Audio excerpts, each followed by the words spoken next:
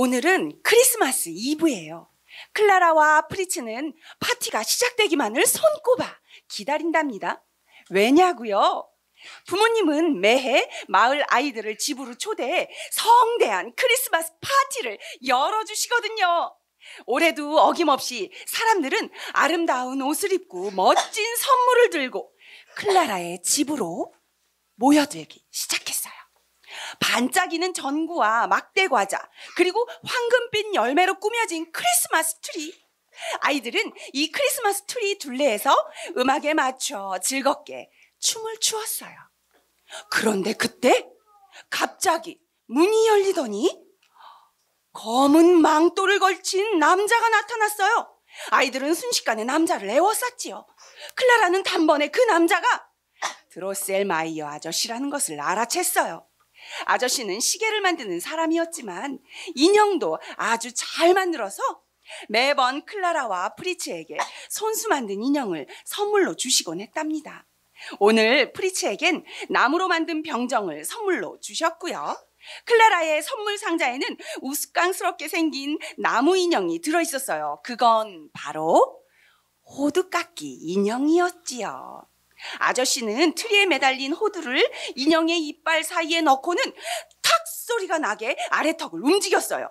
그러자 단단한 호두 껍데기가 부서지면서 고소한 알갱이 두 개가 쏙 나오는 거예요.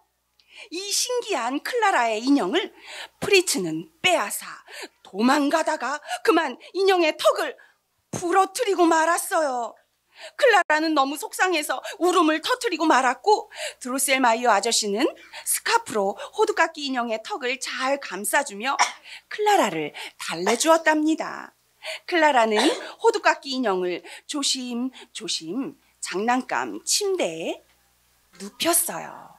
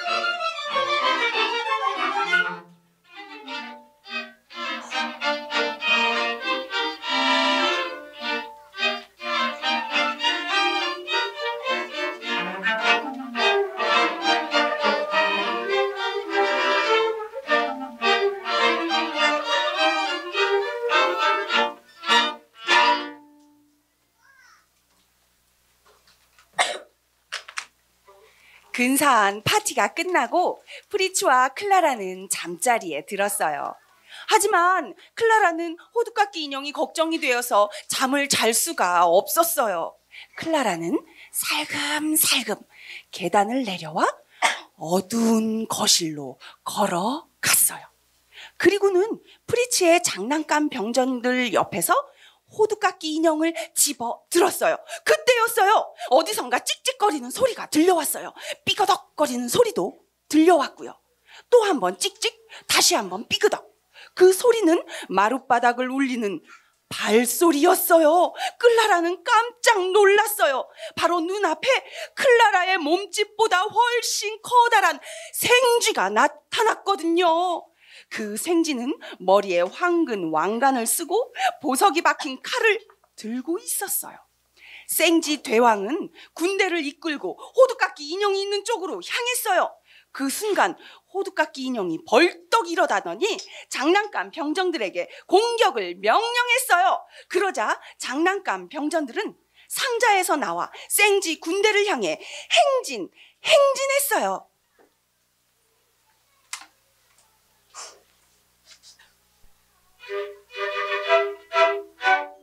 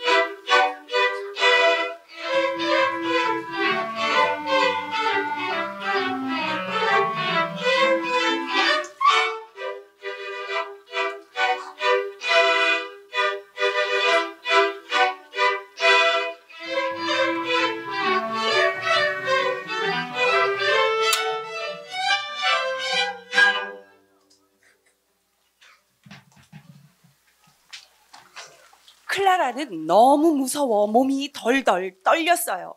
생쥐들의 털이 풀풀 날리고 칼이 챙챙 부딪히는 소리에 눈앞이 흐릿해졌지요. 생쥐 대왕이 호두깎이 인형을 공격하려 하자 클라라는 신고 있던 슬리퍼를 벗어 생쥐 대왕에게 힘껏 던졌어요. 덕분에 생쥐 대왕은 그 자리에서 기절하고 말았어요. 무섭고 긴장한 탓에 클라라는 장난감 침대 위에 풀썩 쓰러지고 말았어요. 마침내 생쥐군대는 후퇴하기 시작했어요. 클라라는 정신이 하나도 없었어요. 자신의 몸이 인형과 장난감만큼 작아진 것도 눈치채지 못할 만큼이요. 그때 전투에서 승리한 호두깎이 인형이 클라라의 곁으로 다가왔어요. 클라라는 호두깎이 인형을 뚫어지게 바라보았어요. 호두깎이 인형은 더는 나무 인형이 아니라 멋진 왕자님으로 변해 있었어요. 클라라가 누워있던 장난감 침대도 어느새 썰매로 바뀌어 있더고요. 있었고요. 썰매는 위로 살짝 떠올라 창밖으로 빠져나가더니 눈 덮인 겨울 들판 위를 날아가기 시작했어요.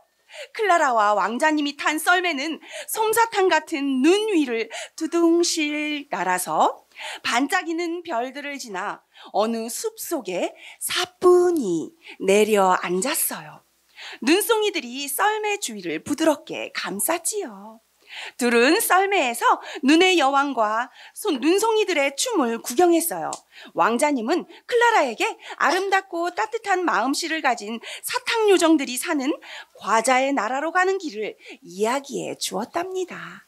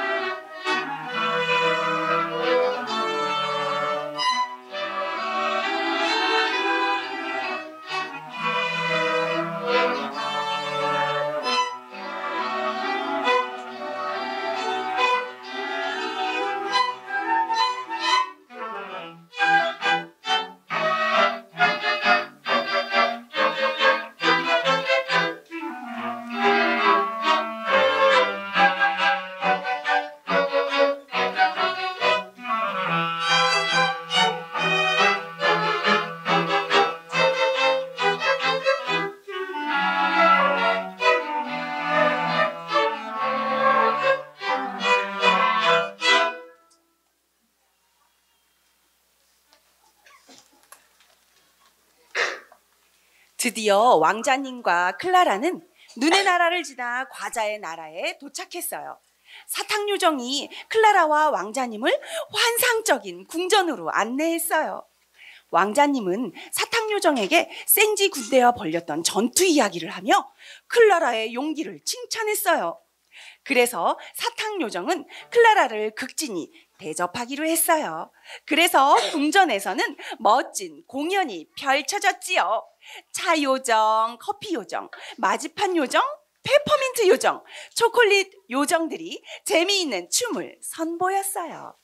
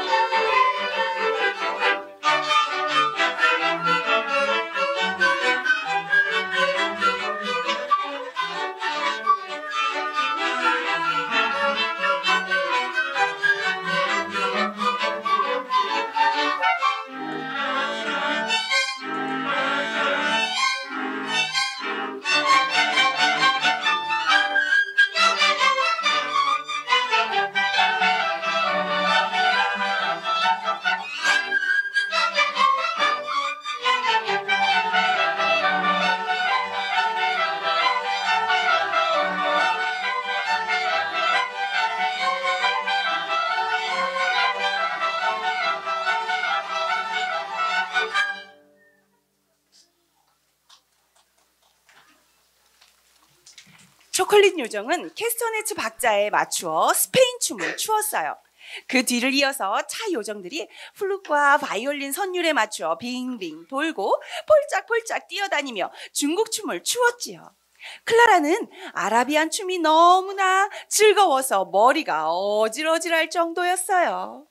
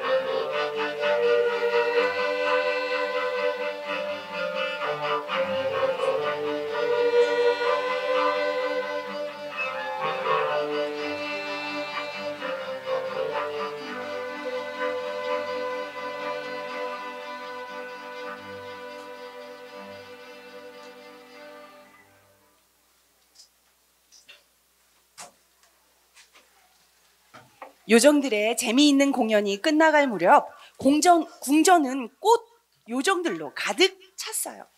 꽃 요정들이 음악에 맞춰 나풀나풀 살랑살랑 춤을 췄어요. 클라라는 눈송이처럼 흩날리는 꽃잎들을 두 손 가득 담았어요. 그때 사탕 요정이 무대 중앙으로 오더니 왕장님과 함께 춤을 추기 시작했어요. 클라라는 이 사랑스러운 장면이 언제까지고 계속되기를 바랬지요. 사탕요, 사탕 요정은 클라라에게 다가와서 멋진 춤을 추었어요. 왕자님을 구해준 것에 대한 감사 이야기였지요.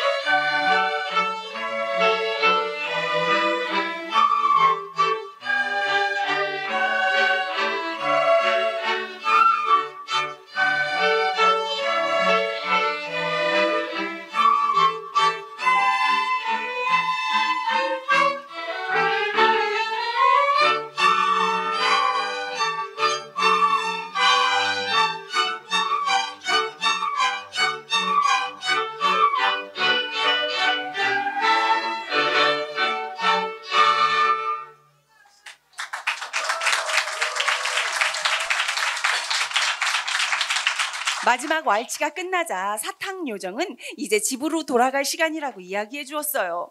클라라와 왕자님은 다시 썰매를 탔어요. 클라라는 슬슬 졸리기 시작했어요.